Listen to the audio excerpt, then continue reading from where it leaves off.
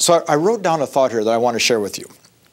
I said, we must define in detail the services we provide if we want them to feel comfortable giving us referrals long term. We have to, now listen carefully, okay? We have to define in detail, okay? Not only the service we provide, but the quality of service. See, quite honestly, guys and gals, it is many times much easier to deal with somebody you've never seen before and will never see again in real estate. Because, see, they can't judge you against anything else you've done. See, you're holding an open house and a buyer walks in and you kind of build a little relationship and you feel good and you take them out three days later and you sell them a house and you could mumble and fumble and stumble and script the whole deal. They don't know the difference because they don't know what you are, what you aren't, what you can and cannot do. But a past client who's already dealt with you knows the difference. So you have to define your service. Okay? Let's take this example. What separates you from every other agent in the office when it comes to showing property to a buyer? What makes you good at showing property to buyers? What makes you the person that buyers would want to work with? What makes you a, a magnet of buyers trying to find you because of the quality that you offer? Take a look at listing. What about your listing presentation is so powerful and so strong that it's so much better than anybody in the office that referrals that come in will want to come to you? What, what about your listing presentation would all of your existing clients say, are you kidding? My neighbor's going to sell. You got to call Mike Ferry. Your center of influence have to look at what you do and say, are you kidding listing property? This guy's the best. See, it's the definition of the service. For me, and we'll talk about this more in a later program, it was defining what I called a plan of action. And the plan of action was nothing more than what I would do for a seller if I listed their home to get their home sold. See, it's the definition of the service. See, in real estate, if you don't know what you're doing, you can work with anybody. But if you don't know what you're doing, you can't work with your past clients and centers of influence time and time again because they'll catch on to the fact you don't know what you're doing. Watch this example. I had a mastermind group I belonged to for many years, and it was a wonderful group. It was probably, I'm going to guess, eight or 10 prominent speakers. If I mentioned their names, you would know all of them. And I wouldn't do that because it was embarrassing. And we had many, many discussions about the business, how to work with people like yourself, how to train you, etc. And I had come up with this idea that I thought these action workshops that I do would be a great way of helping a real estate person build a long-term business. So I said to the group, what I'm going to do is I'm going to create an action workshop where I see the people day after day after day after day and teach them how to sell. And this group said, are you kidding? I said, no. I, why would you say, am I kidding? They said, why would you want to go back and see the same people time and time again? I said, because I think what I have to offer has value to them. I think the service I have could help them build their business. I think that makes sense. Now, believe it when I tell you that none of them supported what I was going to do. They all thought I was crazy. Now, here we are, 25 years later. Half of them are no longer speakers, not speaking in real estate if they do speak at all. They all have nice little businesses, and because of people like you and the service I offer and the respect we give to each other, I have one of the largest businesses in this industry in the nation. And it's all coming from past clients and centers of influence. As I said to start this particular program, if you're not a past client, we want you as a client. We want you to take these services we offer, apply them to your business, build your business, just like we want you to apply your services to your buyers and sellers to build your business, and then we have a long-term relationship. I wrote down a thought here, okay? If you're going to work your past clients and centers of influence, believe me when I tell you, you can't be afraid to take charge and be in control you know, we all say there's four basic personality styles the driver personality, the amiable, the expressive, and the analytical. Well, it has been deemed through testing that I am a driver personality style. Therefore, to take control isn't very difficult. If your past clients see that you cannot take charge of a transaction, they're not going to give you referrals. If your centers of influence see you as a weak, you know, mealy-mouthed, wishy-washy salesperson, they're not going to give you referrals for future business. See, if I have well-defined services, if I know what I'm doing, and I'm confident that I can do it, and I respect myself and I respect the person giving me the referral, then I can take charge and be in control. And if I take charge and I'm in control, watch, I win. I wrote down that's what people want, and that's what they will pay for, and they will refer people to you if you will take charge and take control. How do you take charge, take control? Let's go back to building skills. Building skills is the answer to taking charge and taking control past client centers of influence. But I also wrote down with your past client centers of influence, it is absolutely imperative. Now listen to me. And I want you to listen to this carefully. It's imperative that you do not ever do anything but tell them 100% the truth during a transaction. Now, in real estate, there are real estate people that don't tell the truth. Now, I know that's hard to believe. I'm not talking to you. I know that would never happen to you. There are real estate people that don't tell the truth. They walk into a seller. Well, I can get you 500000 for this home, no problem. It's a lie.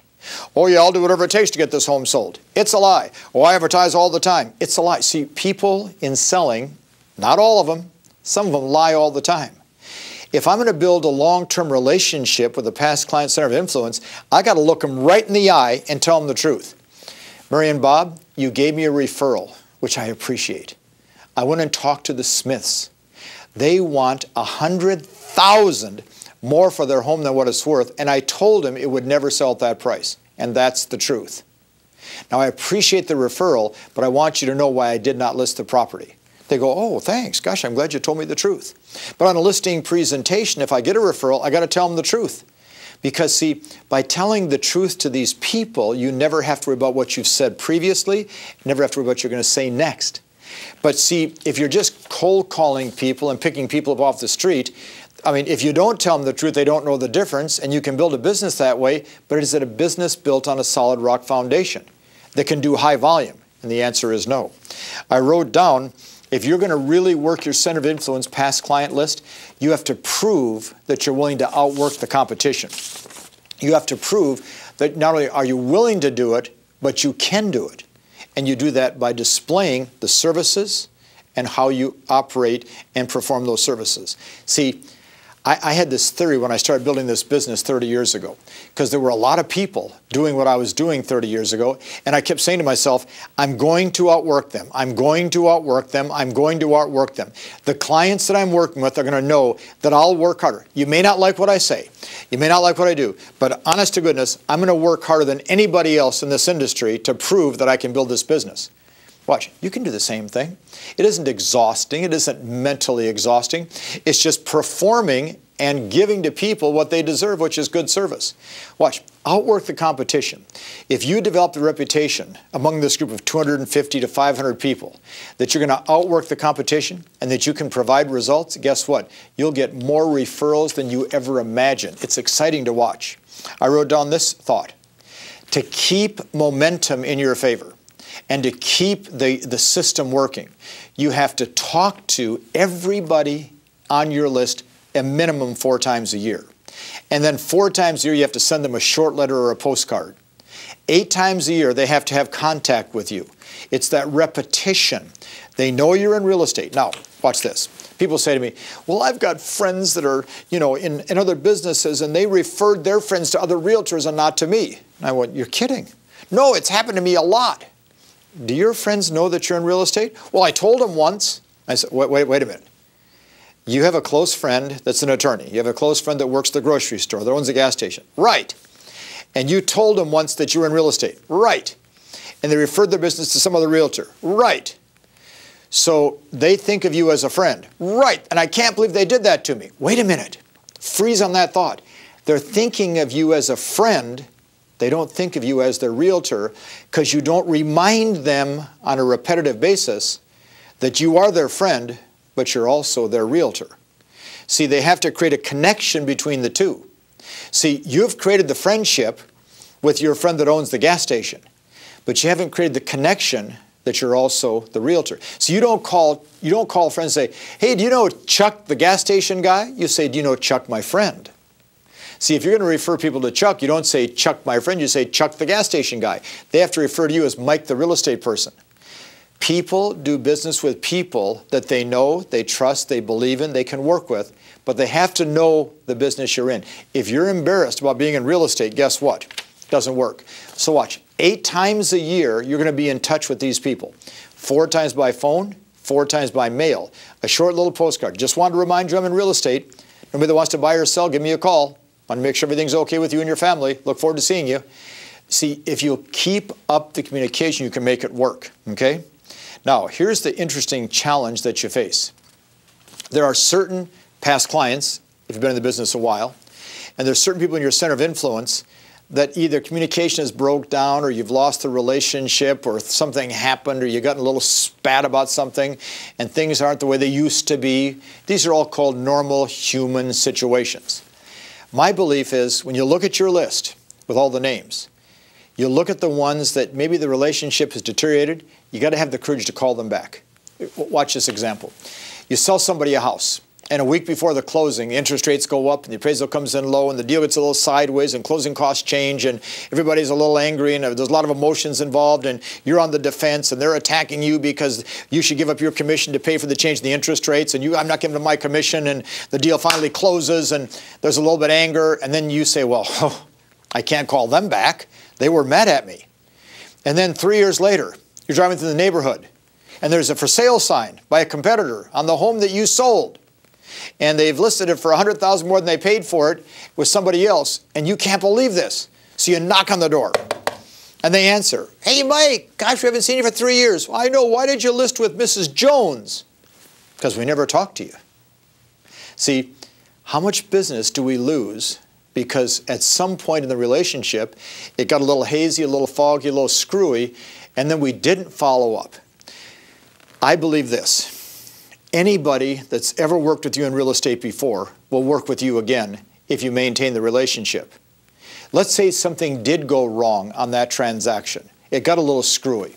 And you wait and it's closed and you're a little uncomfortable. So you call them back. Hi, this is Mike. I owe you an apology. You're kidding for what? Well, I know the transaction got screwy at the end. I owe you an apology.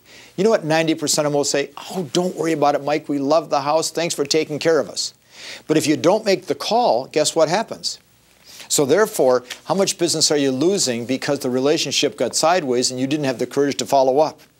I also made a very important note here that when you're going to ask for referrals from your centers of influence and past clients, you need to be very specific when you ask for referrals. Now, let, let me tell you what I mean by specific.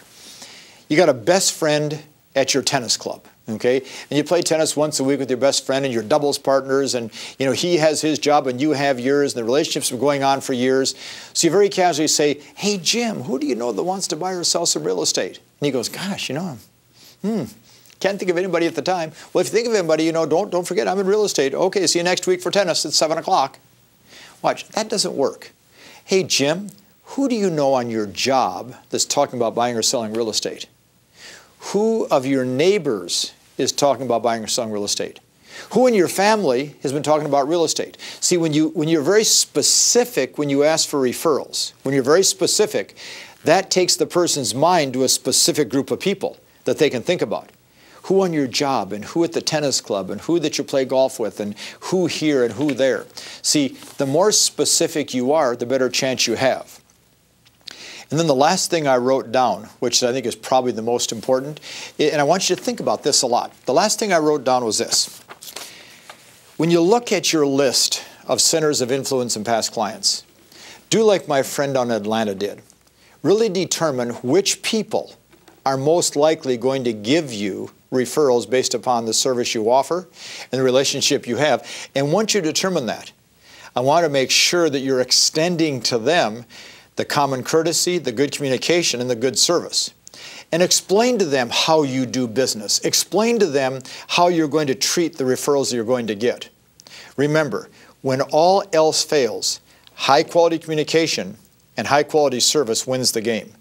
You deserve to have a more predictable, duplicatable business coming from this absolute gold mine. There's no better gold mine in real estate than past clients and centers of influence. Let's start working it. Let's start developing it. Let's make it work for you. I know that it can.